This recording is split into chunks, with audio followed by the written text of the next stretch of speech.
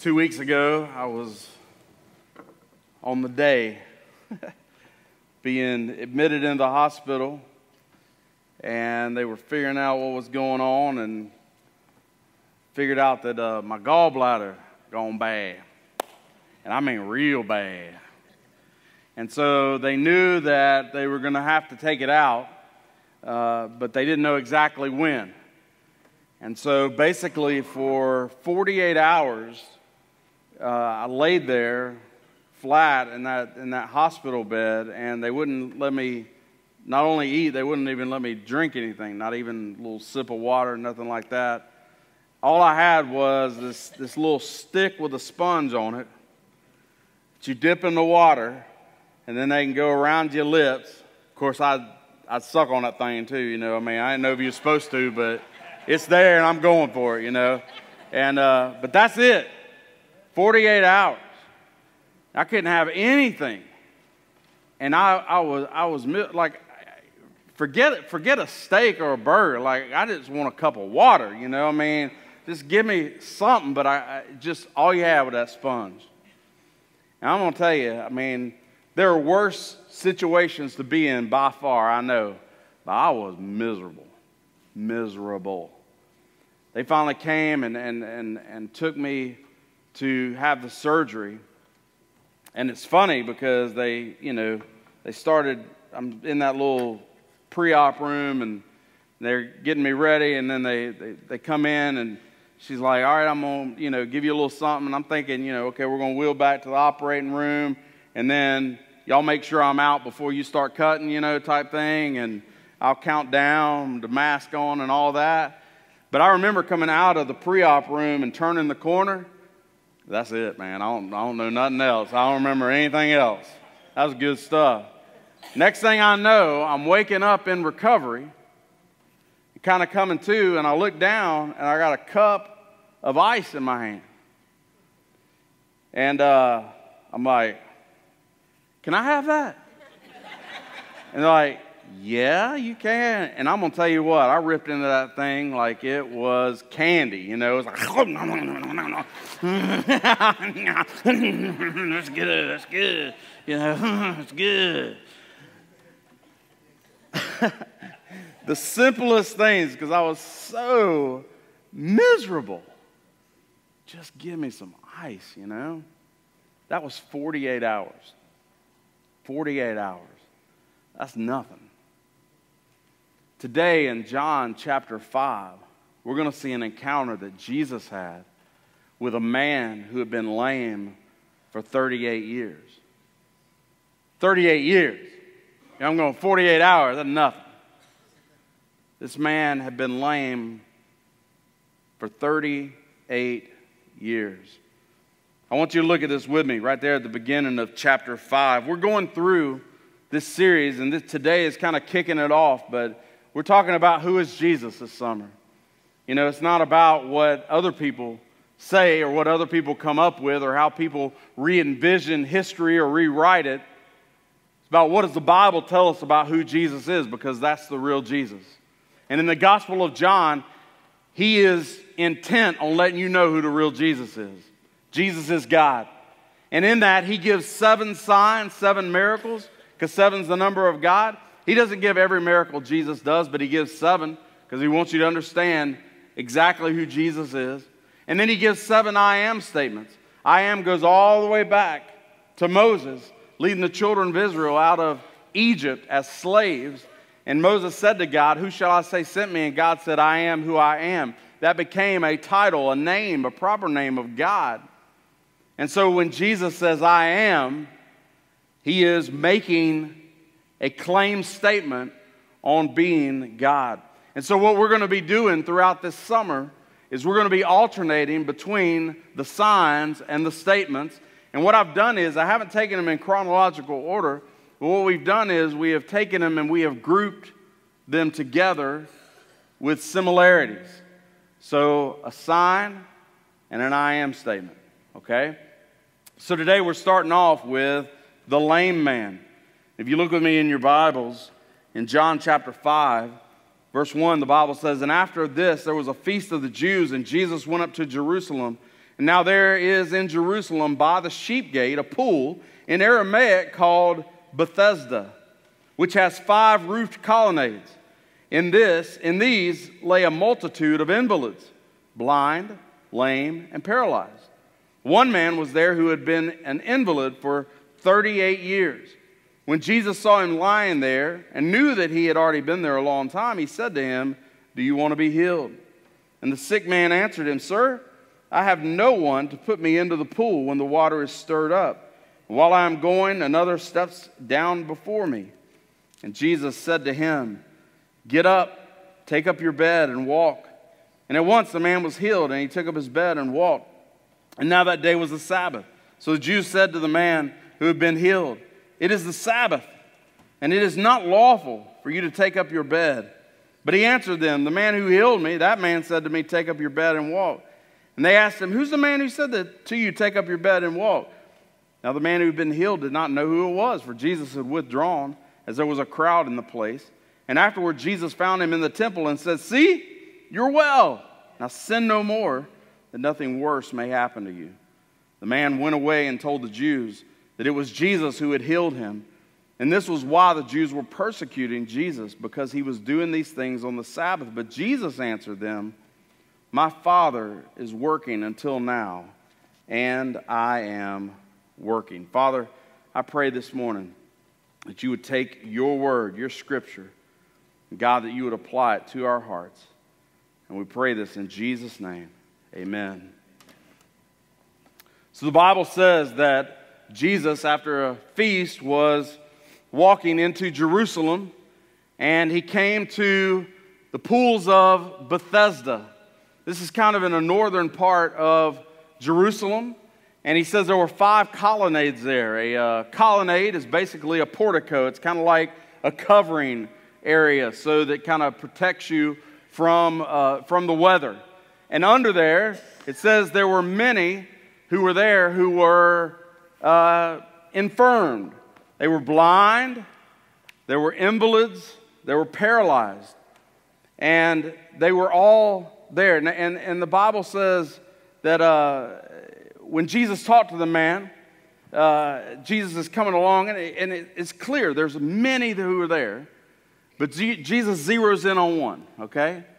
And, and he goes to one and he says something amazing, all right? You got a guy who has been basically lame for 38 years. And Jesus asked him a question Do you want to be healed? Duh. What? I mean, yeah.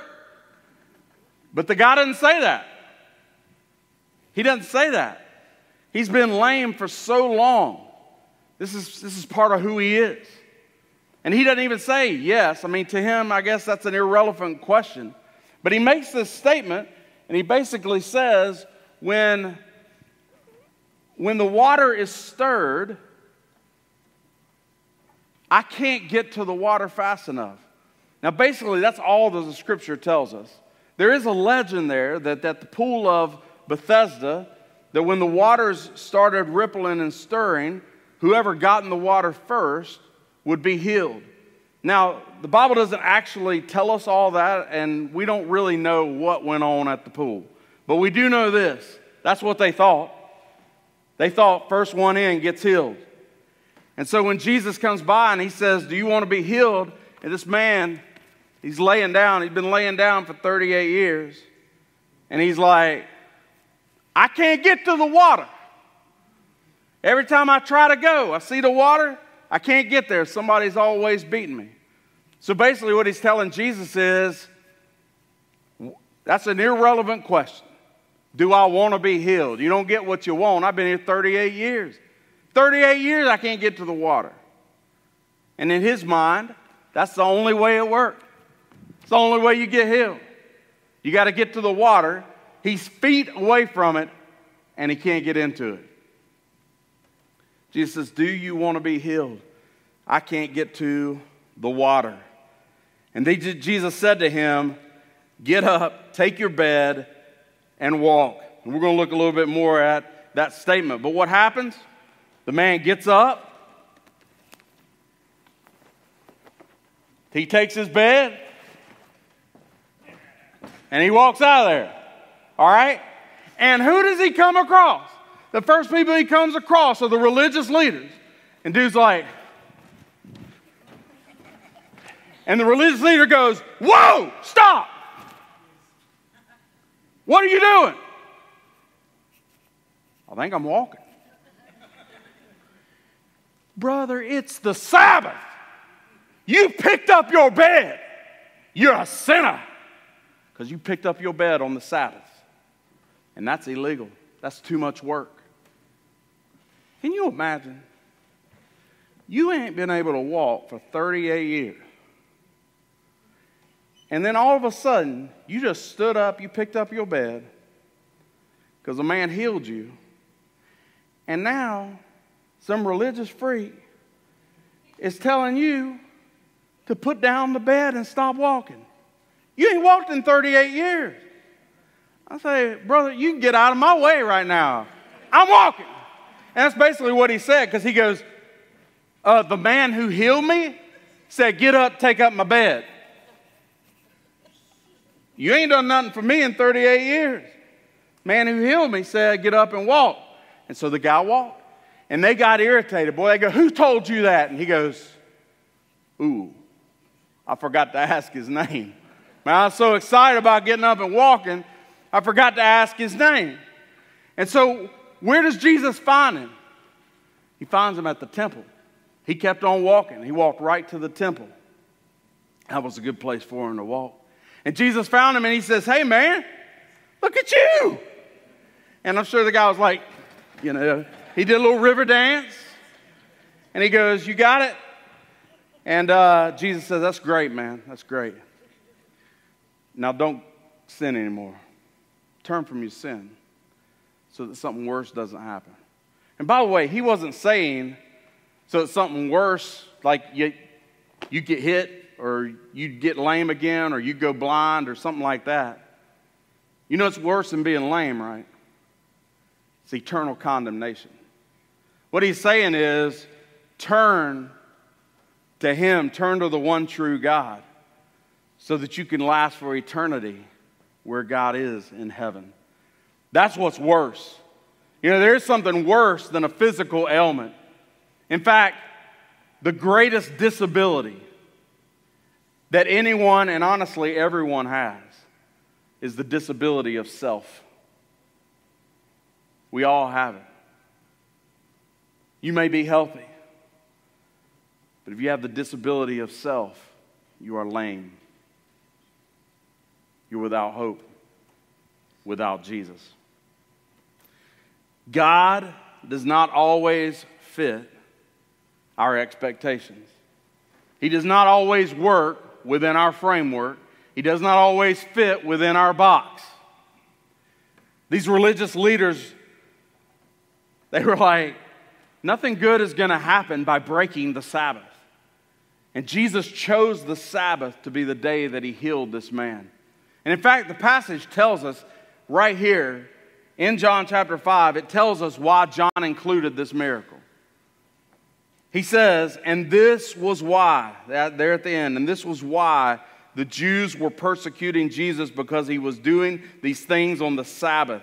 But Jesus answered them, My Father is working until now, and I am working.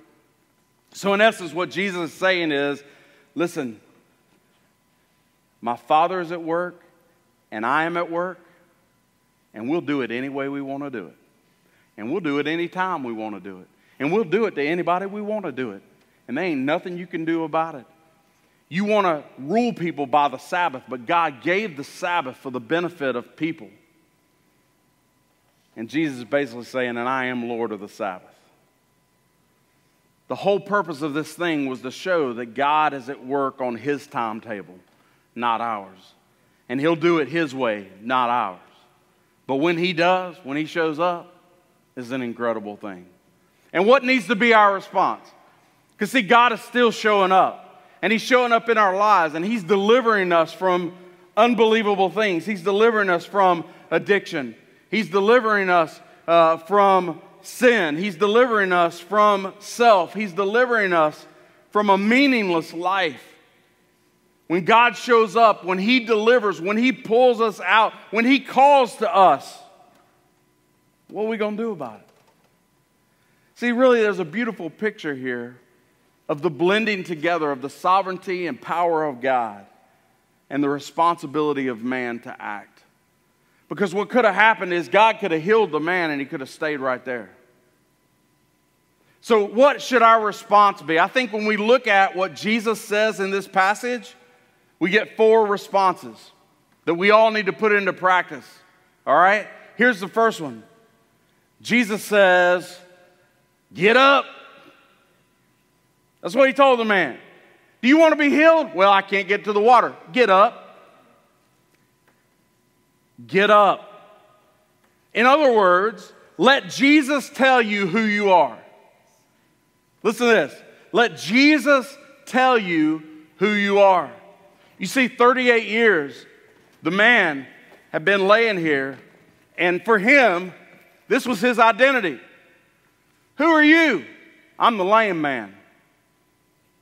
What do you do? I sit here all day long, every day, 24 7. Can't get to the water. What's your name? The lame man. Let me ask you something. Have you ever let your situations define you? Who are you? Well, I'm the addict. Who are you? Well, I'm the liar. Who are you? Well, I'm the adulterer. Who are you? Well, I'm the down and out. Who are you? Well, I'm the poor man. Who are you? Well, I'm the guy that lost his job. Who are you? I'm the guy with a car broken down out here. Who are you? I'm the guy with no money in his bank account. The truth is, we often let our circumstances define us. But you know what? When Jesus says to a man who's been who has not walked in 38 years, when he says get up, he's saying, You let me define you. The whole world says that man can't walk. And Jesus says to the man who can't walk, Get up. Get up. Let him define you. I love the story of Gideon in Joshua chapter 6. An angel comes to Gideon. Gideon Gideon's your, he's, he's even less than your average man.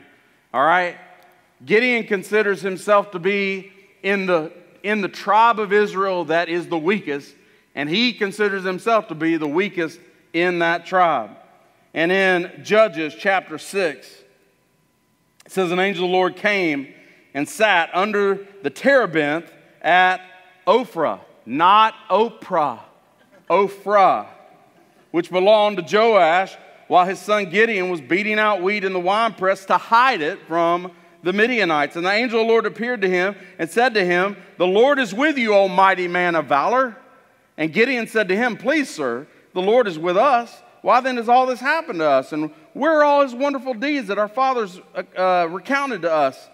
But now the Lord has forsaken us and given us in the hand. And the Lord turned to him and said, Go in this might of yours and save Israel from the hand of Midian. Do I not send you? And, he, and Gideon said to him, Please, Lord, how can I save Israel? My clan is the weakest in Manasseh, and I'm the least in my father's house. And the Lord said to him, But I will be with you, and you shall strike the Midians, just Midianites as one man. In other words, the angel of the Lord came to Gideon. Gideon says, I am the weakest in the weakest clan. In other words, you look out all, all of Israel, you ain't going to find a more sorry soul than me. And to that sorry soul, God said, Almighty man of valor. You know why? Because when the Lord empowers you, nothing can come against that. We are more than conquerors in Christ Jesus. We got to let God start defining us and calling us and valuing us and listen to how He defines us, not how the world defines us, not how we define ourselves. It's not our circumstance, it's not your looks, it's not your abilities, it's not your popularity, it's not your influence, it's not your swag, it's not your social media followers. It's what God says. And to the lame man, who had never walked, God said, Get up. And some of you need to be looking at yourself in a different way. I'm not talking about self esteem here. I'm really not. I'm talking about Christ's esteem. I'm talking about seeing yourself through His eyes, who sees you as a sinner, who sees you as flawed, who sees all your weaknesses, and yet still sees what you are and can be in Him. He is our identity. Don't let other people define you, and don't even define yourself. Let God say who you are. Get up. The second thing he says is take up your bed. Get up. Take up your bed. Pick it up. Why? Because you ain't staying here anymore. You don't need this to have here to lay on all the time. Now your bed actually can become a bed, someplace you crash after your day of work because you're getting ready to get busy. Take up your bed means really let go of the former life. Take up your bed. Sometimes, sometimes we pray for deliverance. God help me. If you just help me out of this, God, if you help me out of this, I won't do this anymore. I just, God, get me out of this mess. Give me. And we're praying for that. But all the while, we're not letting go of anything. It's kind of like, well, hold on. And God, I need you to pry this out of my white knuckles. All right? And God says, I'll take it. But you're going to have to release it. Take up your bed. You don't need that bed anymore. Sometimes we actually hold on to our sin as a security blanket. We don't like to admit that. But we do. We've grown so used to falling. We've grown so used to relying, to, to leaning on, to letting our sin be our identity that we don't know how to let go. He says, Pick up that bed. That bed's been in the same spot. You don't need it anymore. Pick it up. Let it go. We got to release it. Watch this video real quick. First, he laboriously drills a hole in a giant ant heap when he is sure a baboon is watching him because he knows baboons are incurably inquisitive. Next, he puts some wild melon seeds into the hole and works them in so that they drop into a hollow. Then he saunters off, knowing the baboon is burning with curiosity. The baboon doesn't trust that human being at all, so he plays it cool but he's dying to know what gives in that confounded hole. Finally, Mr. Inquisitive can't take it any longer. He's got to know what's in there. He reaches in, grabs a fistful, and now his hand's too big to come out. Ah! If he had the sense to drop the seed, he could free his hand.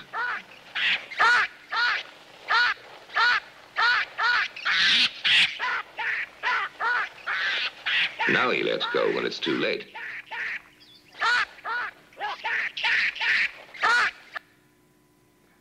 Now, don't be calling PETA and all them, getting them, you know, animal rights on me, ain't that? That wasn't me.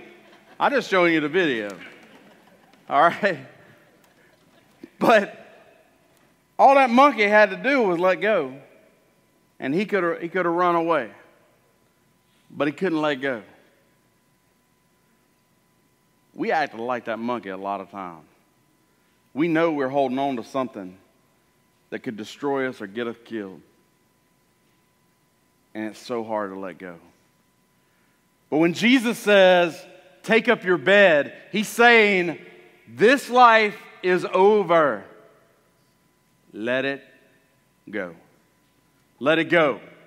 In Hebrews chapter 12, verses 1 and 2. The Bible says, Therefore, since we are surrounded by so great a cloud of witnesses, let us lay aside every weight and sin which clings so closely, and let us run with endurance the race set before us. Recently, we had 50 runners from our Run for God group that, that did, the, uh, did the 5K Jiggy with the Piggy. 50 of them. And I, I was standing there at the finish line Not because I finished first, just because that's where I showed up. but cheering them on. But I didn't see one of them coming across that line carrying a bunch of weight and a big old backpack full of heavy stuff. Now, when you're going to run that race, you're going to lay aside the things that would hold you back. Well, that's what sin does. We got to let it go. Take up your bed, let it go. Let go of the previous life. And then the third step is walk away. That's what Jesus says. Get up, take your bed, and walk. So here, get up, take up your bed, and then what? You're going to walk away from the previous life. To walk away from it, I got to let go of it. But once I let go of it, I'm not hanging around. You know, sometimes people they experience kind of temporary freedom from the things that hold us back. And then they think they can test themselves and they think, well, I think I'll be all right, you know?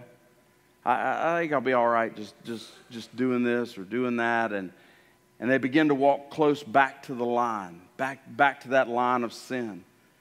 And they realize how easy it is to fall, you know?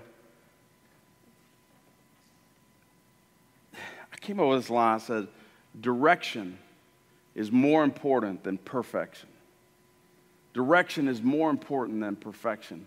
And what I mean by that is when we, when we put our faith in Christ, when we get rid of the old life, when, when we, He has redeemed us, He has delivered us, and now we are walking away from that old life. Some people get in their minds, well, now I got to be perfect. I can't be perfect.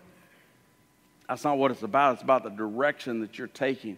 How do you feel about your sin now? If you're embracing your sin, if you're loving your sin, there's a problem. When the Holy Spirit comes in, He convicts us of sin and righteousness, and we start walking away from the old life. The new has come.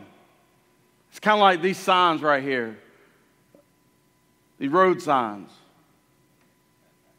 Right there. There. Which way are you going? It's literally like that. Which way are you going? You going toward new life or you going back to the old life? When, when Christ saves us, he pulls us out of that. And he'd tell the man, hey, get up, take your bed, and you need to keep hanging out at the pool because now you'll be able to get in quicker. Now you can push somebody else out of the way and you can be first in the pool. No, he said, start walking because you don't belong around here anymore. This is no longer your home. When God calls you, when He saves you, He brings you out of an old life and delivers you. In Ephesians chapter 4, verse 20 through 24, the Bible says, But this is not the way you learn Christ. Assuming that you have heard about Him and were taught in Him as the truth is in Jesus to put off the old self, which belongs to your former manner of life and is corrupt through deceitful desires, and to be renewed in the spirit of your minds, and to put on the new self, created after the likeness of God in true righteousness and holiness. Get up, take up your bed, walk, walk away from the old life. And then what do you do? I remember uh, I was a youth pastor at a small church when I was working on my master's degree. We had a guy in there who, I mean, dude, he radically, radically saved. Um, had been in a, a, deep, deep, deep life of drugs and had gotten saved. He gave his life. And he came into that little old church and, uh, you know, I mean, he was tearing it up. Hey, Amen, amen, all right. And, and all, you know, a bunch of made a bunch of people uncomfortable. I thought it was awesome, man. I mean, he just he was excited. But then he had such a heart and a passion that he, he really he wanted he wanted his old friends to come to the Lord. It was tremendous intent, desire. He saw their their lifestyles of destruction and he wanted them to experience what he had. And so he decided he was going to start going back and ministering to them and trying to share the gospel, and he did. But in the process, he got hooked again. No intent, his intent was to help. But there were areas where he was weak, where he did not need to be. You got to you, you got to be smart, and, and in doing so, he ended up walking back towards that previous life, and he ended up taking his own life. First funeral I ever had to do. Horrible. You got to be careful. When you walk away, you got to walk away. And I know people need help, they do, but the same Jesus that delivered you will deliver them, can deliver them, will be the gospel to them. But man, when you walk away, you got to walk away. And that's not just addiction, folks. That's, that's self as well, because self is the great sin. You understand? Like, honestly, listen, you could take every sin that is accounted for, and it all links back to self. It's all about me. So, self is the true enemy of our relationship with the Lord. But not only do we walk away, we're actually walking towards something. It's not just walk away. It's not do better, be better, get better. It's what we walk towards. And what do we walk towards? We walk towards a new life in Christ. We're walking away from our old, walking toward a new. Notice what happens when Jesus meets the guy at the temple and he says, Hey, you're doing great. Now go and sin no more. In other words, get your spiritual life right. Because a healthy physical body, a lame man who gets up and can walk without spiritual transformation is going to walk right into hell. You understand that? A lame man who gets up and walks without a spiritual transformation is going to walk right into hell. See, you do understand the nature of miracles, right? I want to make sure that you do, so I'm going to tell you right now. Miracles are not for you. They're not for me. They're not for the lame man. They're not for the blind man. They're not for the dead man. Miracles are for the glory of God. Period. It's a secondary benefit what human beings receive out of it. But it makes no sense. You're going to heal somebody who's lame, and that means you that now for the rest of their life, which is still going, that physical life still going to die. Now they can walk around. Great means nothing they're not going to spend eternity in heaven. You see, God is not about our momentary comfort. And that's why many times people are thinking, where's my miracle? Like sometimes you rejoice when somebody gets a miracle and they, you know, they're, they're, they're diagnosed with cancer and then they go back to the doctor and it's gone and we praise the Lord. And that is incredible. I mean, that's a work, work of God. But then other people have cancer and it leads all the way to death and they're like, where's my miracle? It's not your miracle. It's not your miracle. It's not my miracle. It doesn't belong to anybody. It's for the glory of God. And He chooses to heal when He chooses to heal, who He chooses to heal, why He chooses to heal. But it's all about His glory. It's not about us. Don't be looking for your miracle. You look for your God. You look for your Savior who has brought you out of death into marvelous life and has guaranteed you eternity in heaven. He doesn't owe you a thing. And if God does choose to heal you here on this earth, praise the Lord. It's not just so you can be comfortable for a little while longer. Your comfort is in heaven. If He chooses to heal you for a little while longer, it's so you can bless other people, so you can do more, so that you can be His vessel in the lives of other people. It's not about us, it's all about Jesus. Walking away from the old life and walk into the new life in Christ. In Romans chapter 7, the Bible says, For while we were living in the flesh, our sinful passions, aroused by the law, were at work in our members to bear fruit for death. But now we are released from the law, having died to that which held us captive, so that we serve in the new way of the Spirit and not in the old way of the written code. 2 Corinthians 5 17. For in Christ, if anyone is in Christ, he is a new creation. The old has passed away. Behold, the new has come. Listen.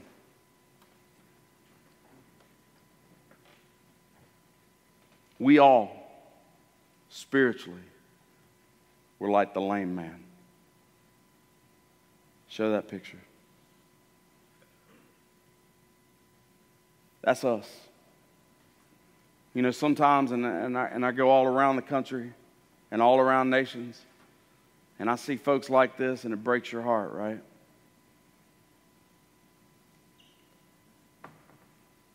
But this is us. Spiritually, without Christ, we are all lame. We are all without hope. God does not fit in our little box. He does not do things the way we want him to, when we want him to, how we want him to, to who we want him to. He is God, He is above all. But if we surrender to Him, if we listen to Him, He's saying, Get up, take up your bed, release the old life, walk away from it, and walk towards me. And when we do, we become this. We're going to kick that crutch away because spiritually we have gone from death to life. This is Jesus.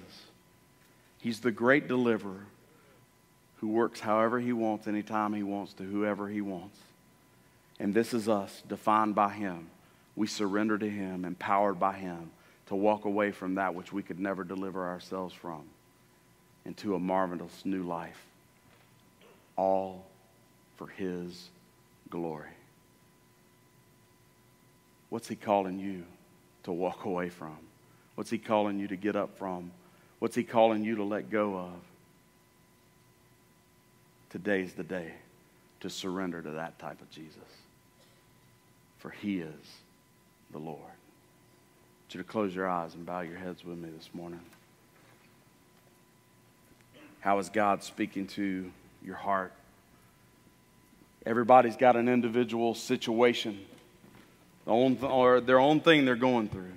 But you know what you need deliverance from. But are you willing to submit this morning to His Word? Are you willing to do what He says and surrender?